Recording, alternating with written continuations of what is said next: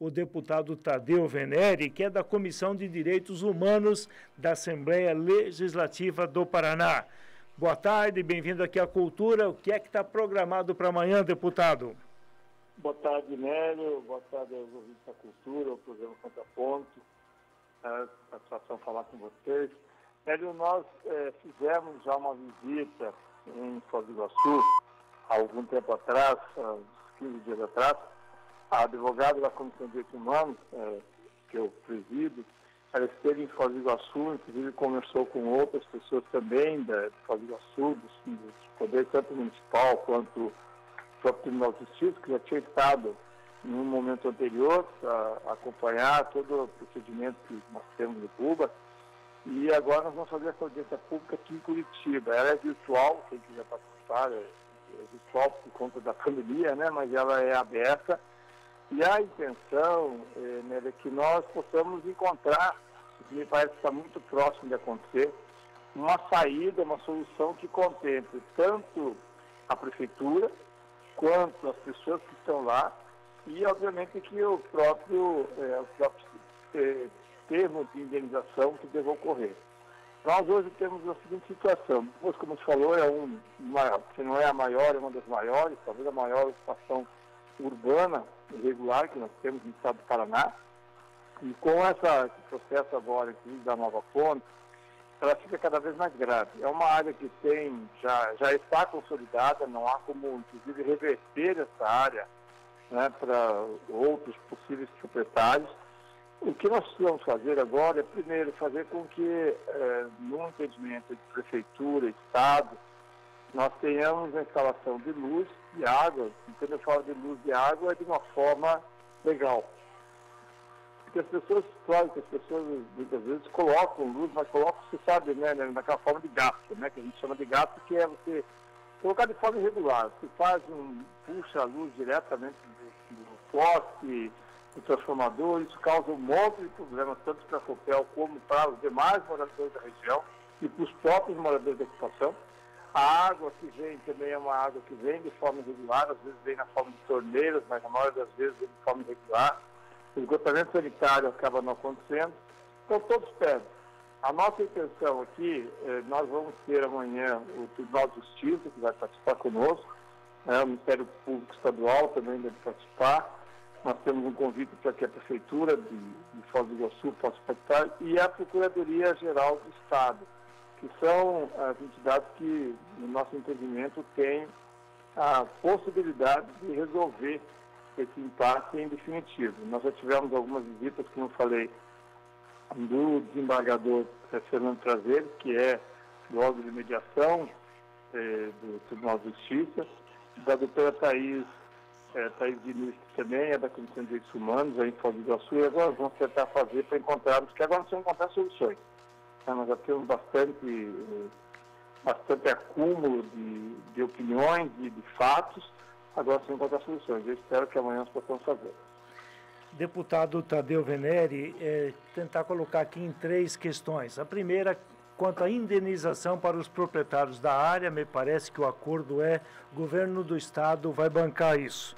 A segunda situação seria a infraestrutura do local desde a abertura de ruas e também a questão da construção civil para que haja uma dignidade na moradia. E a terceira, para colocar num pacote para que o senhor possa responder, como faz para não incentivar novas invasões, uma vez que prioritariamente é um lugar invadido, vai ser regularizado. Mas tem uhum. gente na fila inscrita para conseguir o seu imóvel há muitos anos e que daí vai ficando para trás. É, na verdade, são três situações distintas, né? Como o senhor falou, né, Nélia?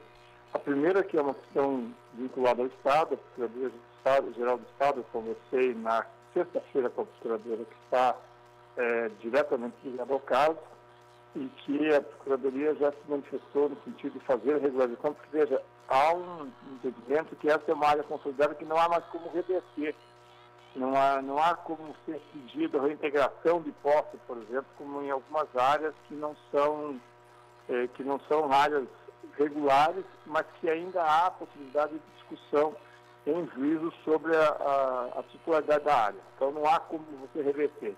Ou você é, cria uma, uma situação de infraestrutura, de dignidade, né, como você colocou, né? E é claro que com isso o município também ganha, o município passa a cobrar IPTU, a COPEL passa a cobrar água, passa a cobrar, é, perdão, a Sanipar cobrar água, a COPEL passa a cobrar luz, ou você mantém a situação indefinida, sabe-se lá por quanto tempo, por quantas décadas ainda, né? uma vez que essa é uma ocupação que não é recente. A segunda situação que você coloca, que, é, como você lembrou, a parte do Estado é essa, a parte do município é criar as obras de infraestrutura é, civil, engenharia civil, seja com abertura de ruas, transformando de fato num bairro, seja com o processo de realinhamento de algumas casas, de construção, essas coisas todas. E a terceira, essa eu acredito que é a pergunta que nós temos menos condições de respondê-la como você não incentivar. Porque as pessoas que estão em áreas regulares, na sua grande maioria, muito precárias, elas não, eu digo na sua grande maioria, não o fazem porque querem. Né? Nós estamos vendo uma crise muito grave no Brasil, 14 milhões de pessoas desempregadas, muita gente hoje é, que poderia é, estar pagando aluguel, perdeu o emprego, não paga mais aluguel porque não tem como pagar, acaba indo para qualquer área. Aqui em Curitiba nós temos 245, ou tínhamos 345, perdão, áreas irregulares. 25% da população morando em áreas irregulares, algumas há 30 anos. As pessoas não têm endereço, não têm como dar em garantia o seu imóvel. É muito ruim para todo mundo. A, a, nossa, claro que a nossa saída seria que nós tivéssemos um órgão né, de construção de habitações ditas populares, ou pelo menos com um custo mais acessível, numa, numa velocidade suficiente para que a população não precisasse fazer nenhum tipo de intervenção que não fosse intervenção legal. E também, como se falou, que não criasse essa sensação de que eu estou 20 anos na fila da Coab e não recebi minha casa. Daí quem entrou lá acabou recebendo. Mas não há como você solucionar esse problema sem que haja construção de novas moradias em áreas que possam ser é, acessíveis às pessoas que, que pretendem adquiri-las. Né? Mas essa é uma das situações que nós provavelmente nós não vamos debater amanhã. Amanhã nós vamos debater especificamente como resolver esse problema específico do BUC. É, e como resolver esse problema específico para nós termos, se é, as coisas derem como é esperado, derem certo, né? Nós temos aqui, por exemplo, em Araucária, né, você conhece aqui ao lado de Curitiba, nós temos tido ocupações quase que é, semanais. É, Curitiba tem tido ocupações semanais também de áreas aqui, algumas maiores, outras menores. Isso demanda o Poder Judiciário para a reintegração, isso demanda para que o próprio é, proprietário da área tenha que buscar uma solução também, às vezes pacífica, às vezes não pacífica, por reintegração. Então, me parece que o caminho que nós temos amanhã é regularizar Buba. Regularizando a situação de Buba, nós vamos partir para outras áreas desse porte, né? No estado do Paraná, e espero que nós consigamos, pelo menos, dar um sinal de que as coisas podem resolver.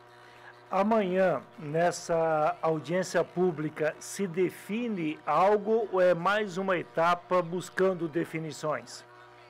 Nós queremos definir. É claro que não compete a nós, né? A Comissão de Direitos Humanos é só um meio, não é um fim.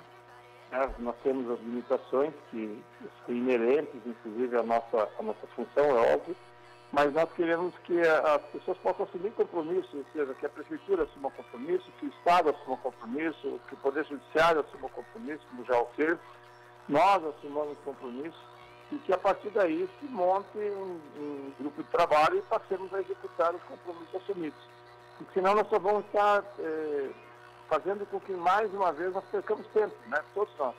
As pessoas que estão esperançosas que as coisas se resolvam, o município que precisa resolver. Veja, eu ouvi o seu programa um pouquinho antes, né? você estava falando da parte turística de Foz, que é nosso principal destino turístico, e que, eh, sem dúvida nenhuma, quando você tem áreas eh, legalizadas, áreas regularizadas, áreas onde as pessoas podem é, organizar as suas vidas, fica muito mais fácil, inclusive, para o município. É, as coisas irregulares são muito ruins para todos, desde o processo de dignidade da pessoa até o controle, não estou falando que é o caso de Buba, mas aqui em Curitiba tem muito, o controle da área feita pelo tráfico. O tráfico onde a área é irregular, onde as pessoas dependem do tráfico, não conseguem ter uma escola, não conseguem ter uma, unidade de saúde, não conseguem ter um, um mercado legalizado, elas acabam dependendo do tráfico. Então, a melhor forma de você evitar que haja essas áreas com controle, não que outras áreas não tenham, mas que essas áreas tenham controle absoluto do tráfico, é você urbanizá-las. É você urbanizá-las, você dar às pessoas o direito de, de, morar, o direito de ter dignidade, sem depender é, de outros é, setores que não sejam o serviço público, que é o objetivo da Prefeitura e do Estado. Deputado Tadeu Venere, muito obrigado pela participação aqui na Rádio Cultura e que possa ter pleno êxito a reunião de amanhã, essa audiência pública. Tomara, vamos torcer e a gente vai estar à disposição vamos, vou esperar que a gente possa fazer nessa mediação que nós possamos fazer aqui, que eu acho que é obrigação da Assembleia Legislativa. Né? Nós, nós temos, eu acredito muito que nós eh, temos um, as, as, Assembleias Legislativas, o Poder Judiciário, o Ministério Público, o Tribunal de Contas, são, são espaços muito caros do ponto de vista econômico para a população. Nós custamos muito para a população.